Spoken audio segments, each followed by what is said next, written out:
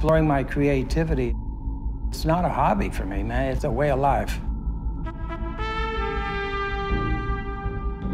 The mystery of art, you know? You can't tell me why you like a Louis Armstrong solo.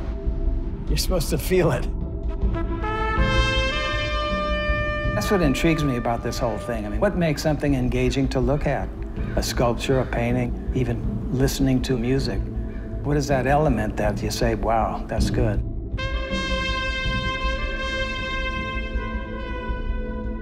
Herb is very free, and he wants everybody to be free and to express themselves in the most honest way possible.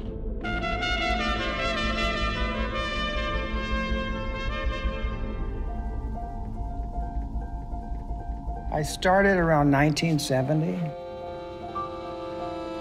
In the 60s, traveling around the world with the Tijuana Brass, I was going to museums, and I got kind of turned on when I saw you know, a black painting with a purple dot, and then a white painting with a black dot, you know, and I thought, hmm, let me try some of that. And so I started sculpting just for my own pleasure, and that's pretty much the way I've approached it. It's something that comes from hopefully a deep place, it's authentic in me. I don't try to impress anyone. He's got over a thousand paintings. He's got hundreds of sculptures.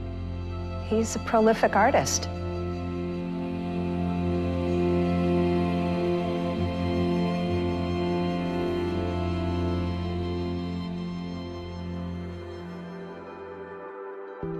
Sculptures are not only what you see, it has to be what you feel.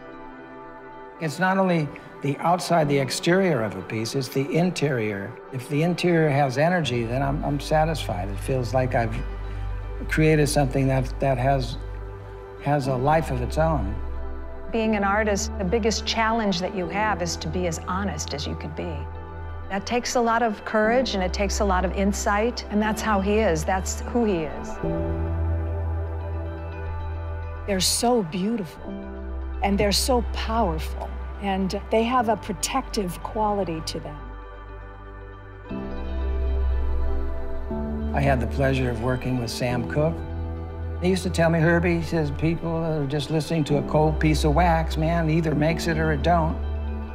When you think about there's only 12 notes that we're all playing, man. I mean, Mozart had those same 12 notes, and so did Thelonious Monk, you know what I mean? These great musicians, they all had one thing in common, they were authentic. We're all looking for our, our own voice when we're, we're an artist, and you try to find your own way of doing it.